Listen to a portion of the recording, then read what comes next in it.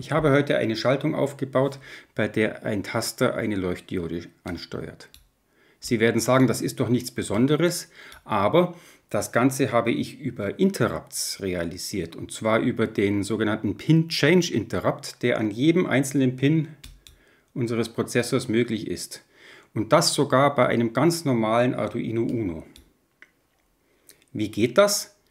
Dazu müssen wir uns erst einmal ein bisschen Theorie anschauen.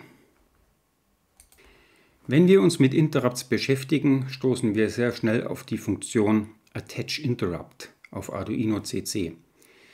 Diese ist beim Arduino Uno allerdings beschränkt auf die äh, externen Interrupts Pin 2 und 3. Wenn wir die anderen Pins für Interrupts benutzen wollen, müssen wir den sogenannten Pin Change Interrupt nutzen. Im Pinout-Diagramm finden wir hier diese Interrupts 1 und 0. Das sind die beiden externen Interrupts. Die Pin-Change-Interrupts sind aber quasi an allen Pins möglich.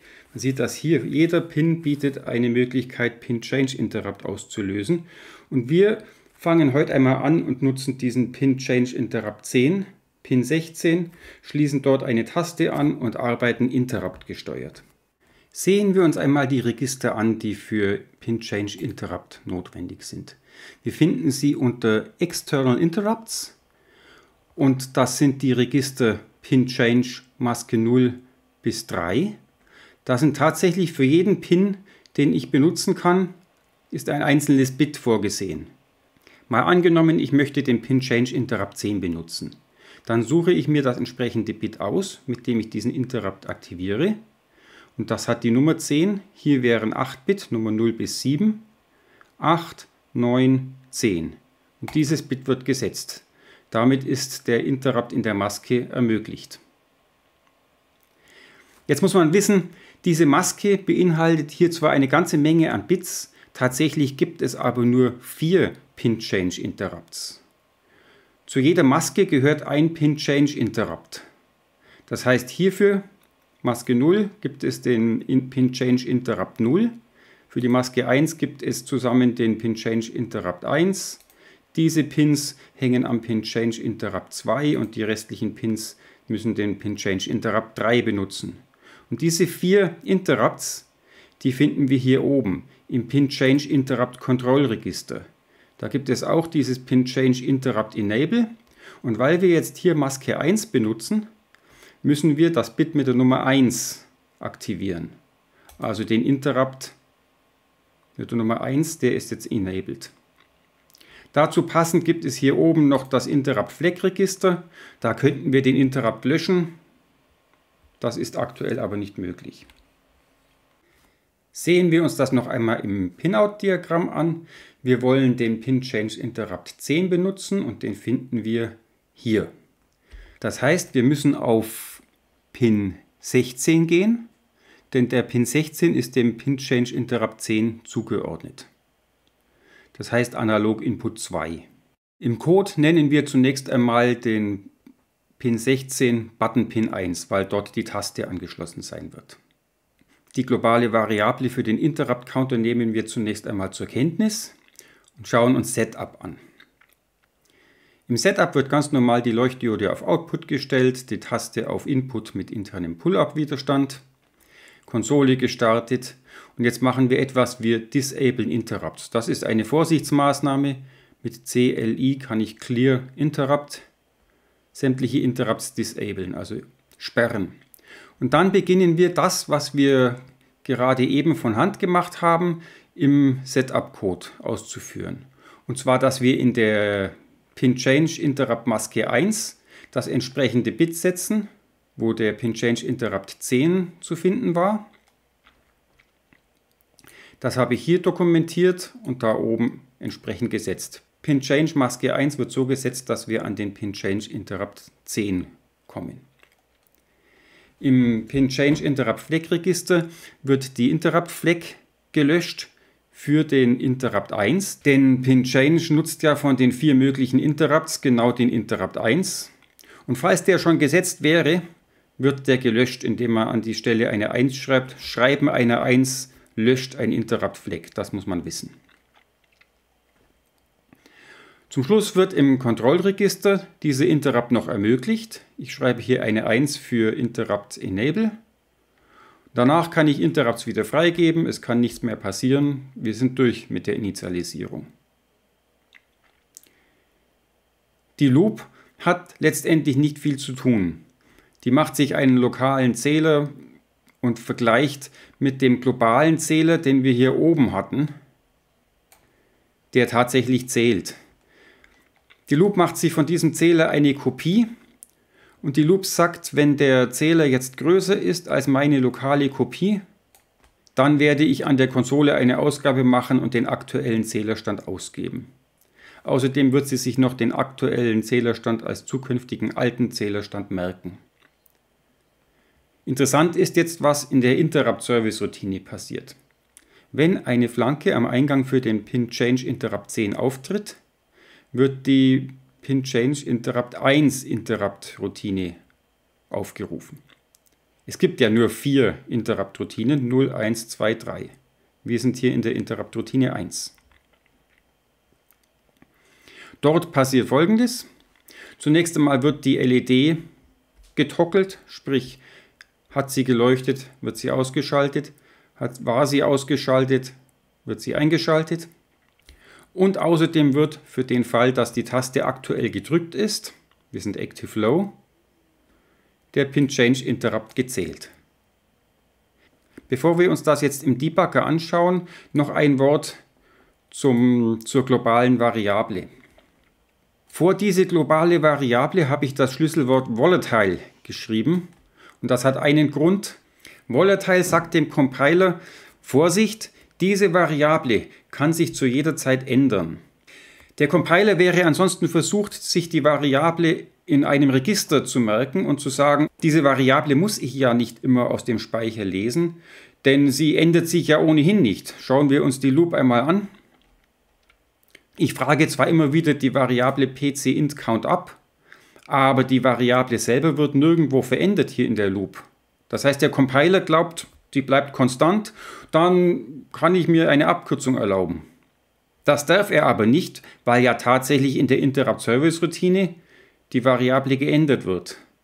Und um das dem Compiler klarzumachen, muss ich Variablen, die verändert werden können, als volatile kennzeichnen. Das heißt, das ist eine Volatile uint8 Pin Change Interrupt 10 Counter. Und jetzt sehen wir uns den Ablauf tatsächlich einmal an. Das Programm ist running. Ich drücke auf die Taste.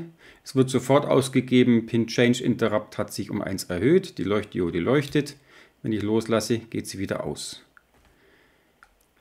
Ich setze jetzt einmal einen Breakpoint in die Interrupt Service Routine.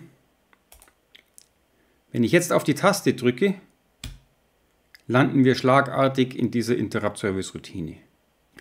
Die Leuchtdiode ist geradeaus. Wenn ich hier einen Step weiter klicke, geht die Leuchtdiode an. Er fragt jetzt noch einmal den Push-Button ab. Und nachdem ich ja gerade eben ausgelöst habe, werde ich mit meinem Finger noch auf diesem Push-Button liegen und er wird Low feststellen und damit den Counter um 1 erhöhen. Ein Single Step. Tatsächlich, er erhöht den Counter. Um den Counter zu beobachten, müssen wir ihn im Watch-Fenster einfügen, denn es ist ja keine lokale Variable.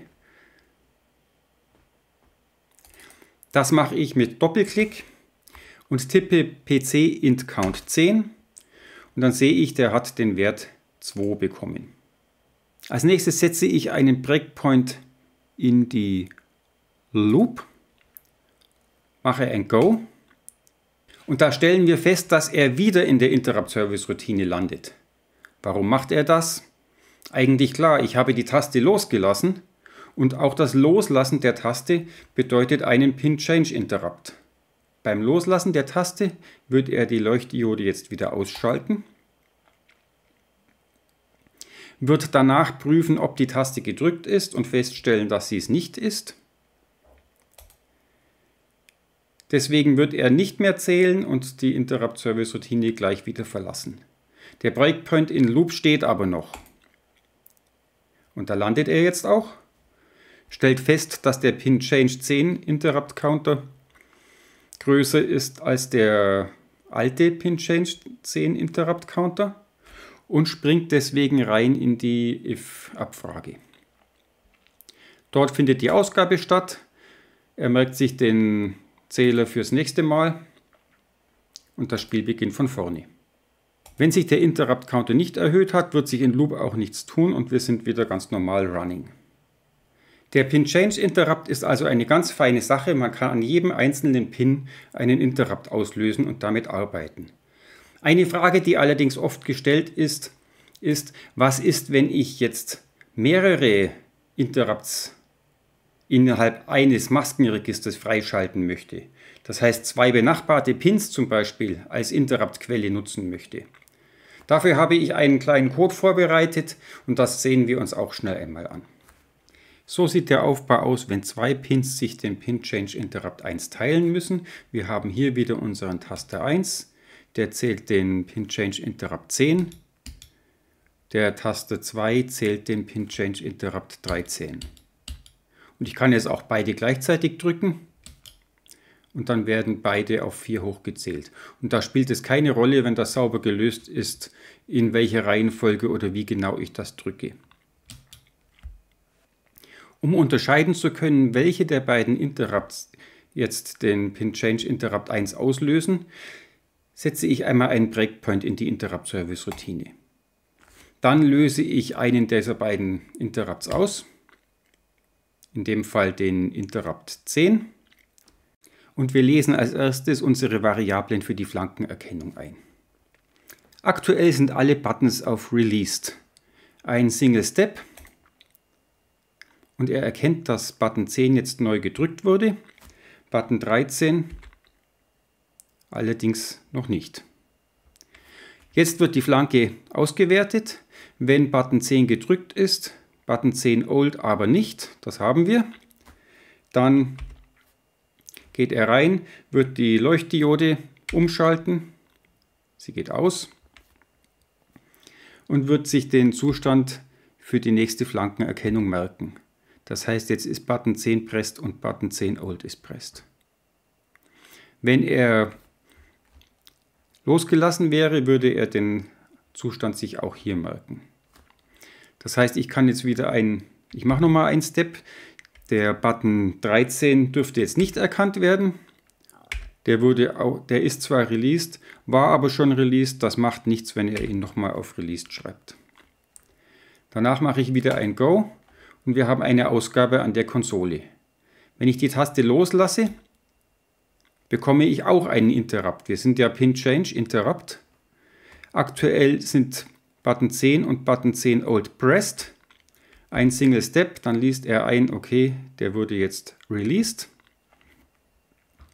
Button 13 bleibt unverändert auf losgelassen und jetzt erkennt er, Button 10 gleich Released und setzt den Button 10 Old auch auf Released, damit die Flanke wieder neu erkannt werden kann. Am 13er hat sich nichts getan und wir können die Interrupt Service Routine wieder verlassen. Schauen wir uns das Beispiel noch einmal an, indem wir Pin Change Interrupt 13 auslösen. Ein Single Step, Button 10 bleibt auf Released Button 13 ist aktuell pressed, war released, also wird Pin Change 10 nicht ausgewertet. Released sehr wohl, das spielt keine Rolle. Das könnte man auch beschränken hier auf die loslassende Flanke.